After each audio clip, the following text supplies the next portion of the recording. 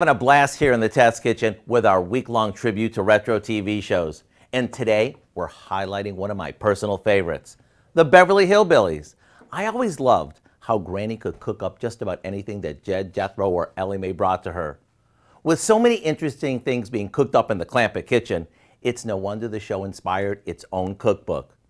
Now, even though the recipe I'm going to share with you today is inspired by the show, don't you get nervous. There's no vittles, varmints, or smoked crawdaddies in this recipe. I'll give you a hint though. Granny was often caught sipping it when no one was looking. If you guessed moonshine, you're right. And once you taste Granny's moonshine pie, you'll know what all the hubbub is about.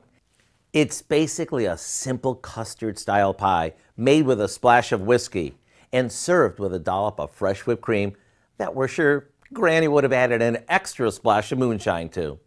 The easy recipe for Granny's moonshine pie is on our website and is one you'll love whether you live in Beverly Hills or off the beaten path. I'm Howard with Kelly in the Mr. Food Test Kitchen, where today we found Granny's favorite way for you to say, ooh, it's so good.